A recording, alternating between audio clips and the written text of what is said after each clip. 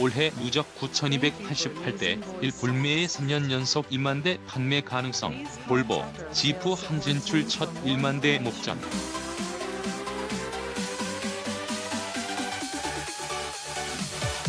포드, 랜드로버 빠질 듯. 서울뉴스 1 김상훈 기자 올해 상반기까지 국내 수입차 시장에서 승승장구하던 토요타가 3년 만에 1만 대 클럽에서 탈락할 위기에 처했다.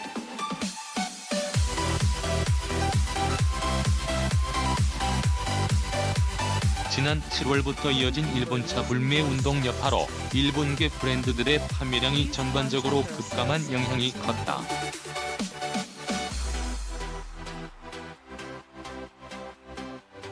일본계 브랜드들의 부진이 이어지며 독일계 브랜드들의 독주 체제가 굳건해졌고 새로운 브랜드를 찾는 수요로 볼보, 지프 등 중위권 브랜드들 역시 상승세를 탔다는 분석이다.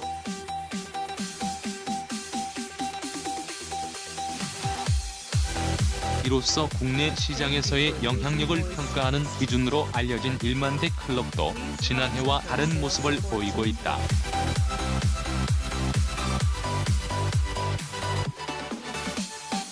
전년 같은 기간 1만 5,196대와 비교해 38.9% 급감한 수치다. 올해 12월 판매량 집계가 남아있지만 최근 흐름을 봤을 때 1만 대 돌파가 쉽지 않은 상황이다.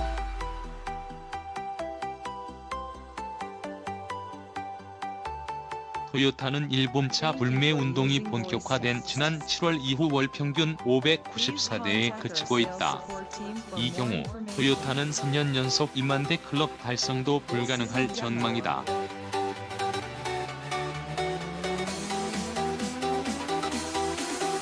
토요타가 국내 판매를 시작한 지난 2009년 이후 1만 대 판매를 돌파한 해는 2012년, 2017년, 2018년 총 3번이다.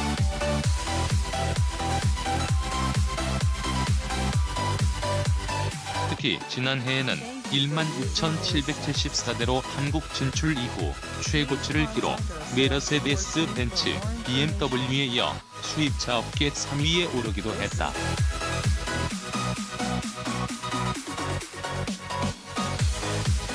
올해 상반기 역시 누적 판매량 6,319대로 3년 연속 2만 대 돌파에 순항 중이었으나 불매 운동 영향 이후 고전하고 있다.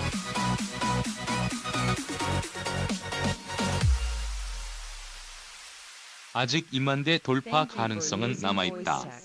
토요타는 지난 11월 판매량부터는 공격적인 할인 판매 전략으로 전달 대비 90일.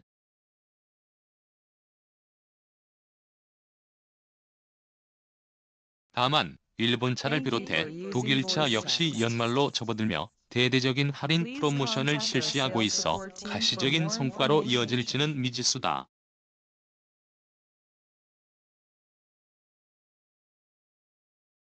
폭스바겐은 금융 할인으로 아테온을 최대 22% 할인하고 있고 아우디 역시 신형 A6에 한해 400만 원 안팎의 할인을 제공하고 있다.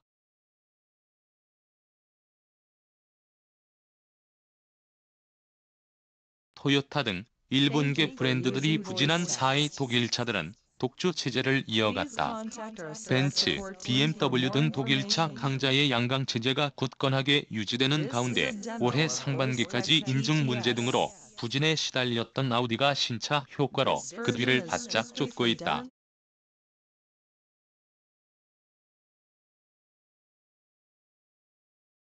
아우디는 하반기부터 Q7, A6 등 주력 차종을 출시하며 11월까지 누적 판매량 9,628대를 기록 중이다.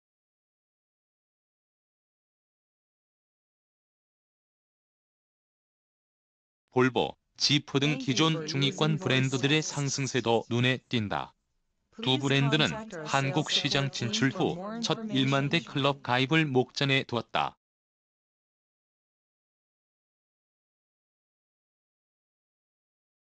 7% 증가한 수치다.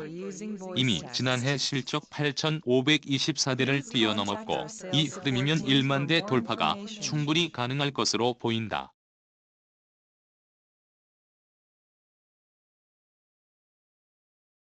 볼보는 올해 X시레인지의 안정적인 수요층과 지난 8월 말 출시된 세단 모델 신형 S60으로 XC60, V60과 함께 60 클러스터가 완성되면서 판매량이 더욱 늘었다.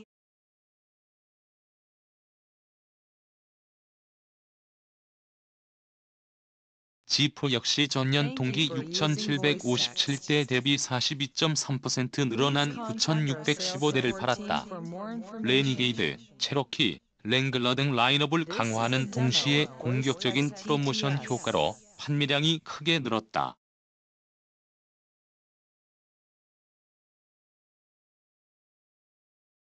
포드는 11월까지 7,509대를 판매하며 전년 동기 대비 30.0% 감소했다. 최근 주력 차종 익스플로러의 완전 변경 모델을 내놨지만 한국 GM 짐 트래버스, 기아차 모하비 등 등장으로 수요가 분산된 탓에 뒷심 발휘가 힘들 것이란 분석이 나온다.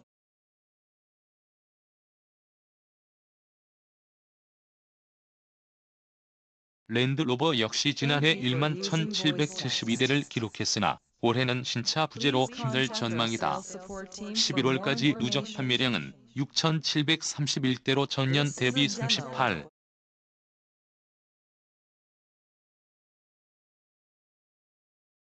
8% 급감했다.